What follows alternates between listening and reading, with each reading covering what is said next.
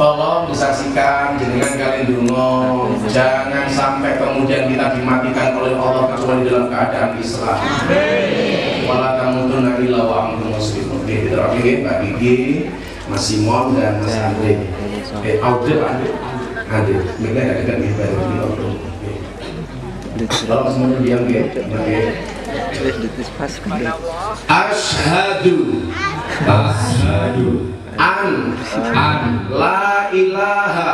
La ilaha. Illallah. Illallah. Wa ashadu wa asyhadu anna. Anna. Muhammadan. Muhammadan. Rasulullah. Rasulullah. Saya bersaksi. Saya bersaksi. Dengan sebenar-benarnya. Dengan sebenar-benarnya. Bahwa tidak ada Tuhan bahwa tidak ada Tuhan. Kecuali Allah. Kecuali Allah. Dan saya bersaksi. Dan saya bersaksi. Dengan sebenar-benarnya. Dengan sebenar-benarnya. Bahwa Muhammad bahwa Muhammad adalah adalah utusan Allah. utusan Allah. Alhamdulillah. Alhamdulillah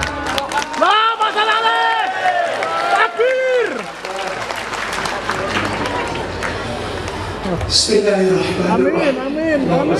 Sayyidina Muhammad. Wa ala ali Sayyidina Muhammad.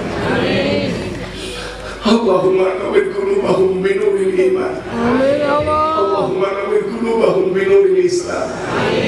Allahumma nawwir qulubahum bi nuril ihsan. Allahumma nawwir qulubahum bi nuri Sayyidina Muhammad.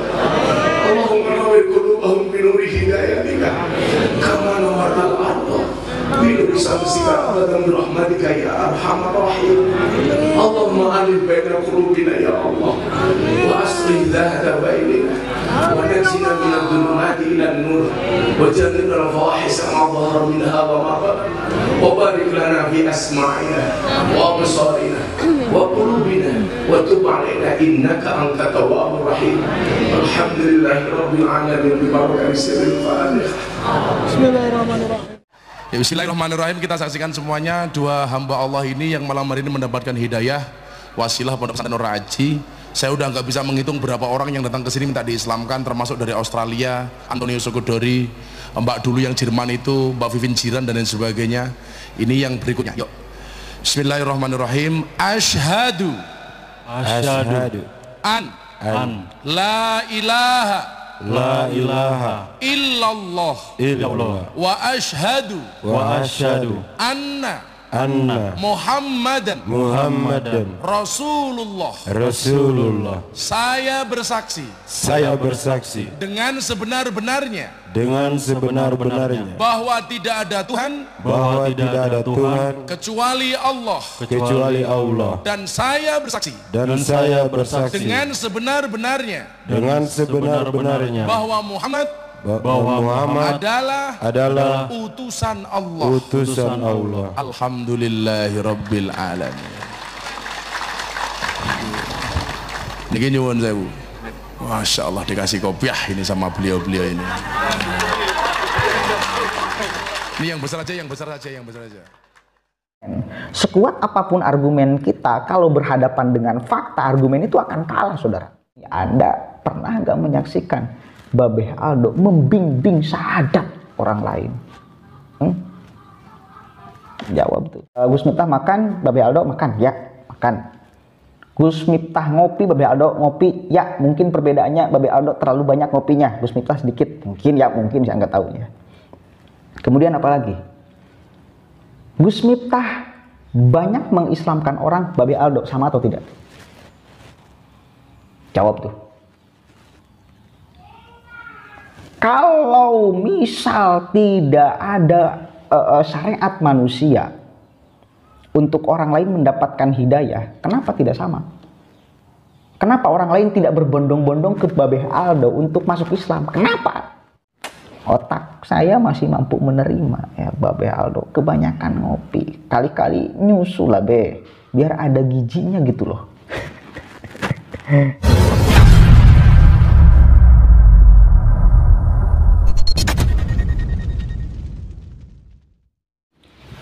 Assalamualaikum warahmatullahi wabarakatuh. Hamdan syukran lillah amma ba'd.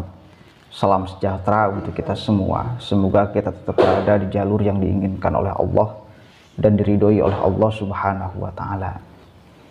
Eh, Sahabat-sahabat sekalian, sebelumnya saya sengaja menampilkan video Gus Miftah ketika menjadi wasilah orang lain masuk ke dalam Islam.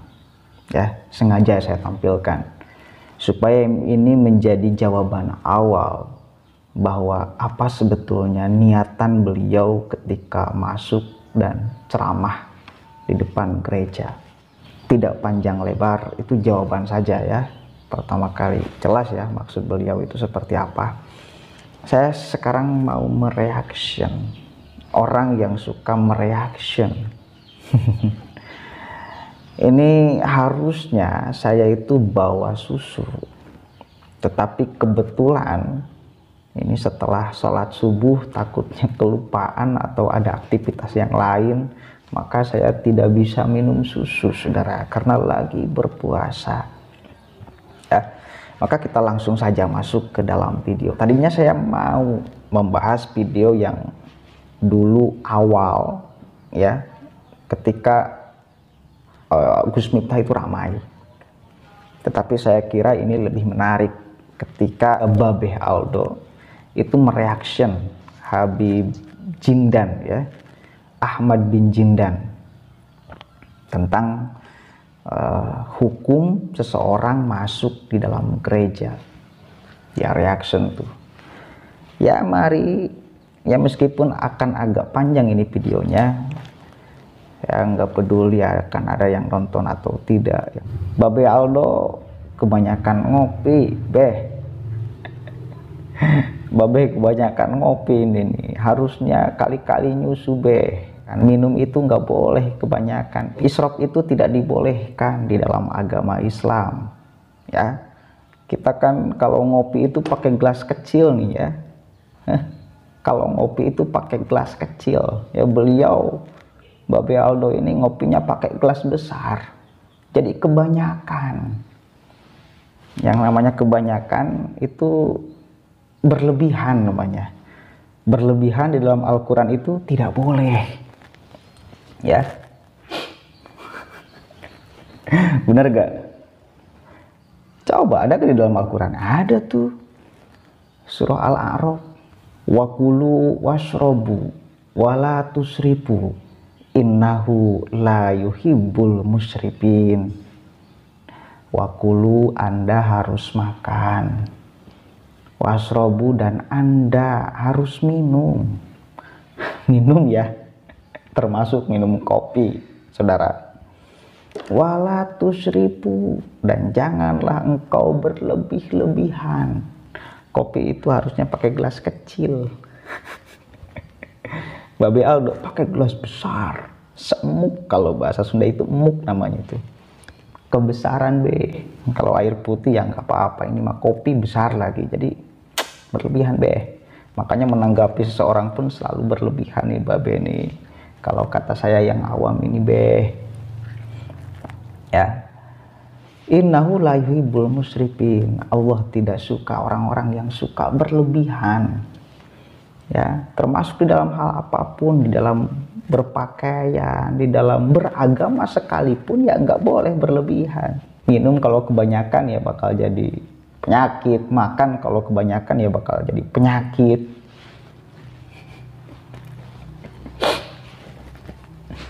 Kenapa tidak boleh israf berlebih-lebihan?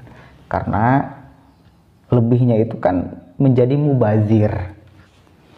Lebih parah lagi itu ayat Al-Quran menjelaskan tentang mubazir. Innal mubazirina kanu ikhwana syayatin. Wa kana syaitonu li rabbihi kafuro. Menyeramkan. Kalau berlebih-lebihan itu adalah temannya setan. Wa kana syaitonu li rabbihi kafuro. Dan setan itu ya mungguh Allah itu adalah kubur. Gak boleh ya. Berlebihan itu nggak boleh. pertama. Mohon maaf ini akan agak panjang sedikit ya. Kita masuk ke dalam videonya. Mudah-mudahan ya beliau tidak tidak isrop. Hmm, tidak kadang tidak isrop beliau. Selalu pas cukup. Ya beh ya, enggak lah enggak isrop. Karena kebiasaannya kopinya segitu ya makanya ya segitu. Jadi ya cukup, enggak berlebihan. Saya saya kepada orang lain yang suka isrop jangan isrop, jangan berlebihan, saudara. Enggak baik tuh untuk kesehatan. ya, kita masuk ke dalam videonya. Mari kita saksikan sama-sama reaction Babi Aldo kepada Habib Jindan. Bismillahirrahmanirrahim. Mudah-mudahan saya tidak hilang etika ya karena lagi puasa nih. risalah tugas kita. Ya, sampaikan, bukan mencampur adokan. Nah, itu beda, Beb. Beda. Dari segi ucapan aja. Habib Salim menyampaikan cerita Habibah Maryam versi Al-Quran. Bukan nyamakan alif sama tasbih, masjid, sama gereja, Yesus sama Allah. Beda. Oh, Beda jauh. pertamanya ini nggak mungkin pas. ya. Tapi nggak apa-apa ya. Itu ini cuman gue jelasin. Habib Ahmad gue yakin. Ya, Habib Ahmad ngomong begini bukan tentang itu, bukan tentang Gus Miftah mungkin. Cuman video Habib Ahmad Ini ini nanti ya kita akan reaksinya nih. sebagai dalil bagi orang-orang yang membela Gus Miftah. Jadi ini kudu diperjelas. Hmm, kudu diperjelas Bib. Buat Benar. yang ingin memesan kopi kulit kayu. Nah, jadi tadi apa namanya ya? Cuplikannya. Kita akan bahas lah nanti di dalamnya. Terlalu lama kalau dibahas dua kali ya, saudara. Cek deskripsi video di situ ada link. Ini lagi promosi bisa kopi Habib Bahar nih ya. Insya Allah. Oke, saya promosikan juga Bib. dari Siapa yang Habib akan pesan kopi Habib Bahar silahkan pesan kepada beliau. Beli ya kepada. Babeh Aldo supaya berkah saudara. Baju kokonya juga tuh ya. Pesan tuh. Pengen beli tuh beliau. Hmm. Ada link Shopee-nya juga. Pesan ya. Saya sekaligus promosi. Yang dagangan beliau. Siap. Ah. Babeh Aldo. Katanya beliau Habib kita harus hormati nasabnya. Ya, tetap santuy, akal sehat ngopi. Iya, Assalamualaikum warahmatullahi wabarakatuh. Waalaikumsalam, Welcome back. Selamat Bib. datang lagi di channel Babe Aldo era 1 Siap. bersama gua Babe Aldo yang tetap santuy, tetap akal sehat. Iya, akal sehat. ngopi. Siap, siap. Aduh, saya nggak ngopi, Bib. Hari ini lagi puasa. Harusnya nyusu, Bib. Besok-besok saya akan buat konten reaction antum itu sambil nyusu lah. Iya. Ini kecil. Bar, gini dua, dua kebanyakan, Bib. Aduh, kebanyakan itu, Bib. Iya. Jadi guys ya, eh, salam revolusi akhlak. Siap, revolusi akhlak. Siap. Mudah-mudahan akhlak kita jadi lebih baik. Amin ya Allah ya Rabbal tiap harinya. Amin, ya Rabbal Alamin. Siap, Bib. Jadi gini guys, Hmm, gimana, eh, guys? Ini eh, masih seputar tentang bagaimana polemiknya Gus Miftah. Hmm, Anda yang membuat polemik Gus. Salah satu Eh, pendapat Bib.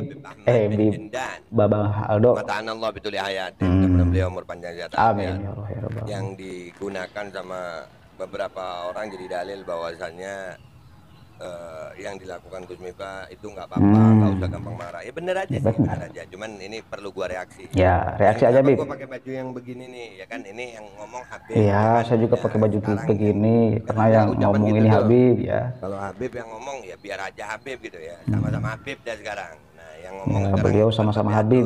Oh, berarti benar beliau Habib. Ya Allah. Darah Nabi mengalir di dalam Babeh Aldo kita nanggepinnya kita belajar dari beliau. Hmm, Mudah-mudahan Saya beliau belajar juga dari Babeh ini ya. Nih nih nih videonya Nah, mangga mangga. Gimana gimana gimana.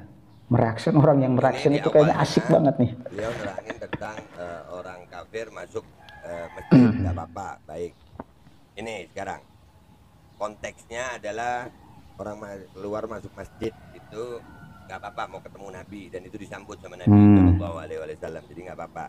Cepetin keluar Bib sebaliknya. videonya Bib. Aduh. Dengan Bib, santuy dan akal sehat dan jangan lupa kopi. Iya iya iya siap siap siap siap siap. Baik. Nah sekarang sebaliknya kita masuk ke rumah peribadatan mereka. Boleh nggak? Kalau kita masuk untuk beribadah, ya dilarang. Oke. Kita masuk untuk beribadah dengan ibadahnya mereka, nggak boleh. Baik. Hah? Namun beda halnya kita masuk bukan untuk beribadah dengan Baik. ibadahnya mereka maksudnya beribadah beribadah dengan agama mereka bukan tapi untuk kepentingan tertentu di dalam agama nggak dilarang Oke, untuk kepentingan tertentu dalam agama tidak dilarang. Baik, alhamdulillah. Berarti itu kan kemarin ada juga yang ngomong tuh. Itu Anies Baswedan juga ngomong. Nah, nah, dari situ kan kelihatan bahwasannya Anies eh, Gus Miftah itu posisinya berbeda dalam undangan tersebut. Yang satu sebagai ulama, yang satu sebagai pejabat. Dan dua-duanya nggak apa-apa kalau memang kepentingannya lain gitu. Baik, kita bahas lagi nih ya. keduanya nggak apa-apa kalau misal kepentingannya lainnya udah nggak apa-apa kalau misal nggak apa-apa kenapa anda apa-apakan gitu loh kenapa Habib ini apa-apakan artinya kan mau pejabat kalau otak saya yang yang yang yang yang minim ini ya mau pejabat mau siapa pun itu orangnya kalau ada alasan oke itu ya pertimbangannya alasannya. Alasannya apa? Seseorang itu masuk dalam gereja untuk beribadah kah? Ya? Atau untuk apa? Beliau ceramah Gus Miftah ini ceramah di depan orang-orang Kristiani. Cek fakta di lapangan berapa puluh ratus orang Kristen yang sudah masuk Islam ini fakta loh ya. Dan mari kita berpikir sebetulnya siapa yang lebih ditakuti? Mereka. Orang-orang macam Babe Aldo atau Gus Miftah. Gus Miftah itu dengan keluasan dan kebijakannya mampu merebut iman orang lain loh. Orang lain tertarik dengan kehadiran Gus Miftah dan gaya ceramahnya. Babe Aldo. ya mudah-mudahan mereka pun tertarik dengan beliau. Tapi pertanyaannya, berapa orang yang sudah eh, diislamkan atau Babe Aldo udah menjadi wasilah untuk orang lain masuk Islam berapa orang? Itu pertanyaan saya. Jelas ya? Berarti boleh mau pejabat, mau santri, mau kiai, mau siapa pun itu, yang penting alasannya jelas. Jelas ya? Boleh dulu nih, boleh dulu ya. Yang penting ada alasan. Ya. Kemaslahatan alasannya itu. Lanjut ya. Lanjut B. Oke. Lanjutin. dan ini terjadi oleh Sayyidina Umar bin Khattab Nah, pernah terjadi Sayyidina Umar. Hmm, Sayyidina Umar. Oke. pembebasan penaklukan Baitul Maqdis Ya. saat itu yang berkuasa di Baitul Maqdis adalah kaum Nasrani kunci-kunci Baitul Maqdis di tangan mereka dan diserahkan saat kemenangan itu kepada Sayyidina Umar bin Khattab dan Sayyidina Umar keliling melihat Masjidil Aqsa, Baitul Maqdis terus diajak juga didampingi oleh pemimpin eh, gereja saat itu pemimpin Nasrani saat itu mendampingi Sayyidina Umar bin Khattab ya untuk keliling. Dan di antaranya itu masuk ke gereja mereka. Tadi disebutkan. Nah. Dan tatkala Sayyidina Umar lagi di dalam gereja mereka ya masuk waktu sholat kalau tidak salah waktu sholat asar itu waktu maka saat itu digelarkan sejadah dipersilahkan oleh pihak gereja kepada Sayyidina Umar untuk sholat di dalam gereja. Hmm. apa yang terjadi? Sayyidina Umar menolak. Ah, kenapa menolak? Apakah menolak sholat di situ? Enggak bukan. Beliau menolak bukan karena alasan dilarang di dalam agama sholat di dalam situ bukan. Tapi beliau menolak beliau bilang saya khawatir kalau saya sholat di sini datang satu masa umat Islam akan merebut gereja kalian karena ini udah menjadi tempat sholatnya Masya saya. Ya, Luar biasa, sebagai khalifah. Jadi beliau tidak sholat demi maslahahnya Demi maslahah. pihak Oke. gereja saat itu. Nih kalau gue lihat, maaf Beb, ya Sayyidina Umar itu mungkin kalau mau dihubungin sama peristiwa kemarin gereja bukan sama Gus Miftahnya, sama Anisnya. Kenapa? Pejabat. Kalau Gus Miftah kan bukan pejabat ya. gubernur bukan apa bukan ya kan ulama ulama ya walaupun Sayyidina Umar itu sahabat tapi posisinya di situ adalah dia sebagai khalifah Hmm. presiden Mm-mm. Jadi wajar aja kalau presiden pejabat dalam Islam itu demi kemaslahatan umat Hmm. wajar tapi kalau ulama kan beda posisi ulama beda sama Apa posisi ulama, Bi? pejabat tak bisa disamakan Ah, ah, ah, Ya kan, memang begitu beda. Ya beda. nih lu lihat nih gua Ah, ah. belajar akhlak nih sama Habib Ahmad Saya juga belajar akhlak sama biasanya beliau. ngereaksi orang kadang Oke. ngerokok ya ini gua nggak berani ngerokok Gua gak berani apa-apa kagak. minum juga Ngopi, kagak saya. Iya, Beda. ngopi kagak saya. nggak sholat di situ beli Oke. Oke, Sayyidina Umar ibn Khattab. Beliau masuk ke dalam gereja, posisinya lagi eh, beliau menjadi pejabat presiden lah katakanlah ya. Kemudian datang waktu sholat dan beliau tidak. Kenapa? Takut di akhir nanti suatu zaman ada orang yang merebut tempat ibadah orang lain. Ini kemanusiaan, bro. Oke, ini namanya lakum dinukum waliyadin. Ini namanya toleransi. Ini namanya kebersamaan meskipun berbeda. Kita sama-sama meskipun berbeda. Anda manusia, saya manusia. Anda punya agama, saya punya agama. Anda punya Tuhan, saya punya Tuhan. Mungkin kalau mau ditafsirkan itu seperti itu ya. Artinya kan sangat keren sekali beliau tuh. Mempertimbangkan sampai ke hal detail tersebut. Hmm? Berapa puluh, berapa ratus, berapa ribu fakta jangan di luar di Indonesia saja. Orang yang mengebom tempat beribadah yang lain dengan alasan agama. Ini fakta. Bukan teman Babeh Aldo, bukan. Tapi faktanya ada. Ya, faktanya ada. Kemarin di depan gerbang gereja katedral Makassar. Fakta ini. Ya bukan teman Babeh Aldo, bukan. Itu orang lain tapi faktanya ada maka jangan sampai kita melakukan hal-hal yang menyakiti orang lain yang menyakiti agama yang lain yang menyakiti Tuhan yang lain. Begitu ya kalau tafsir saya. Beda gak sama Bobby Aldo? Ya jelas beda dong. Dia sambil ngopi saya mah enggak. Lanjut ya.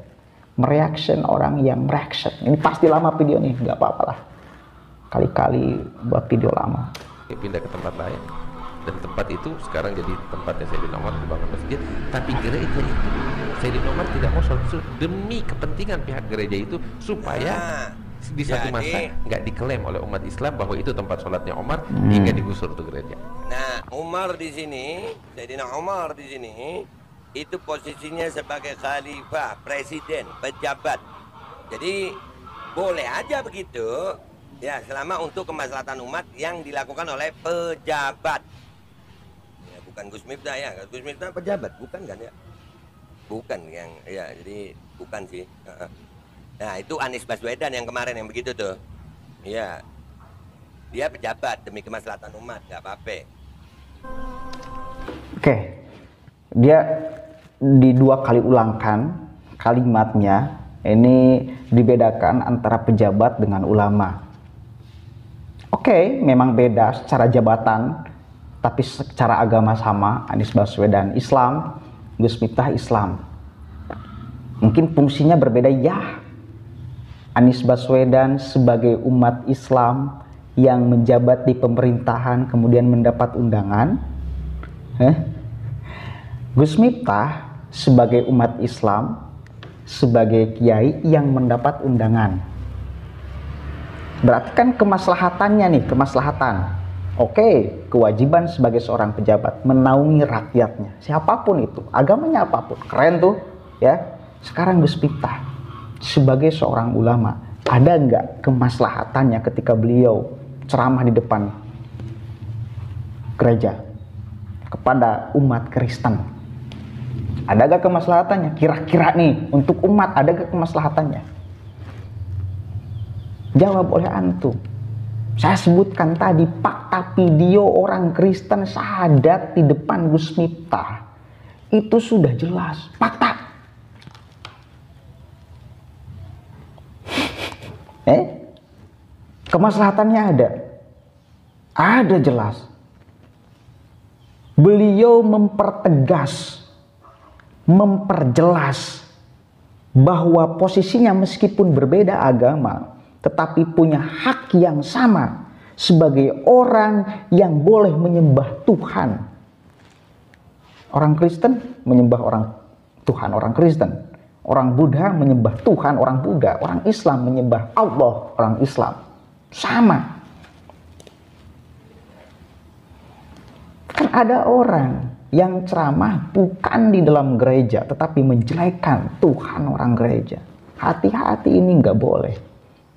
Nabi Muhammad itu berpesan jangan sampai kita mencela Tuhan orang yang lain.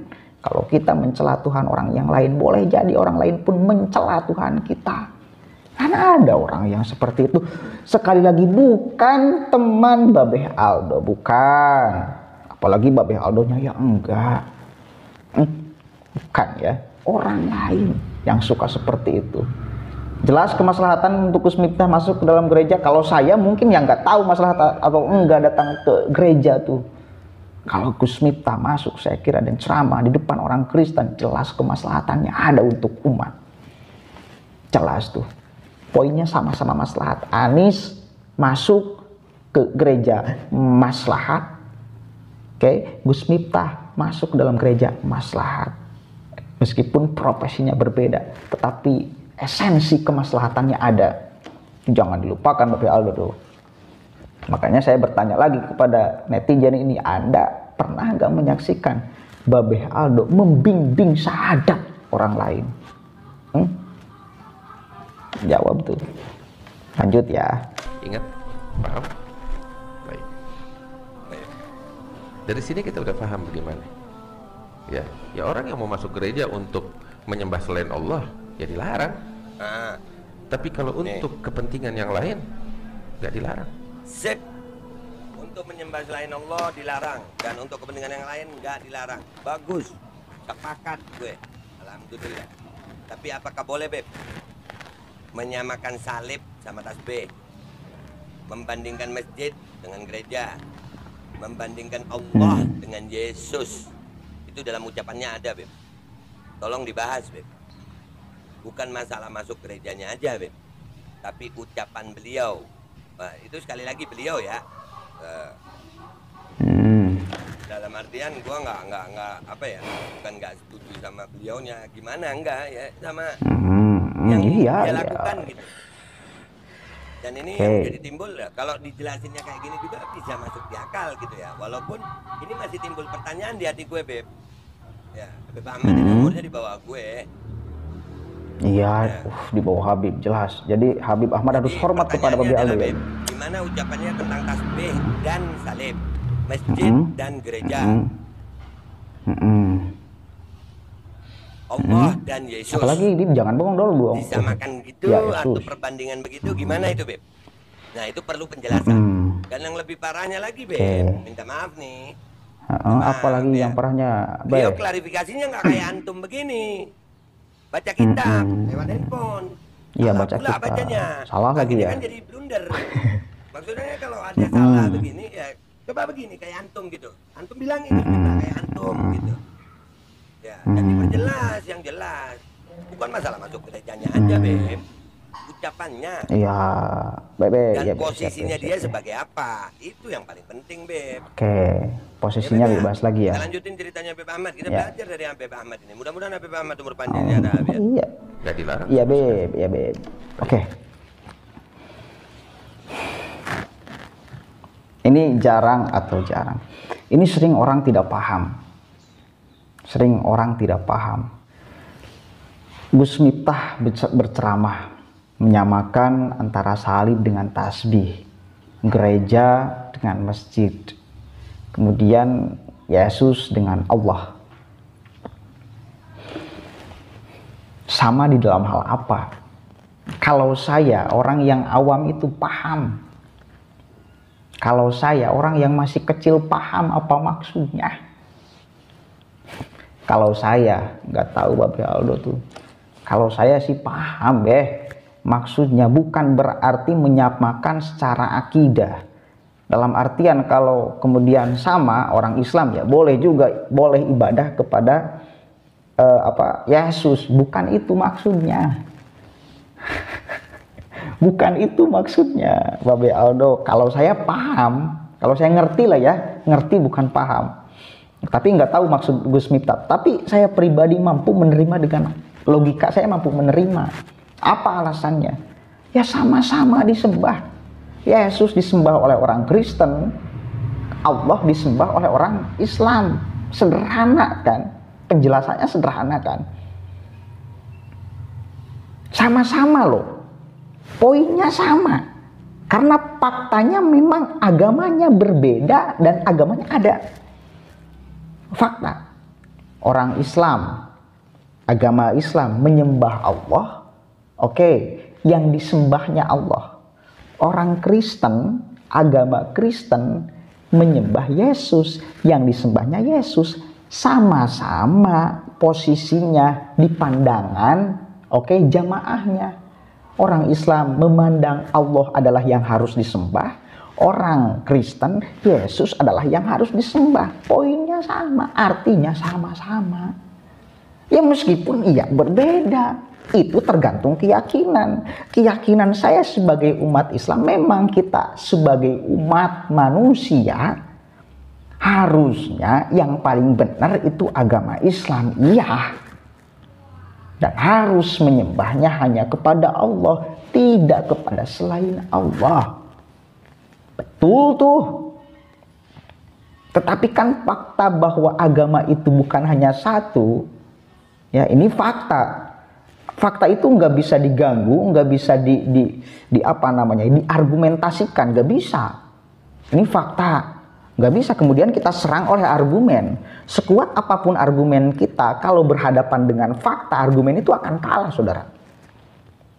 Argumen itu akan kalah karena fakta sudah berbicara. Mau argumen seperti apa pun, faktanya sudah berbicara ya udah kalah tuh argumen.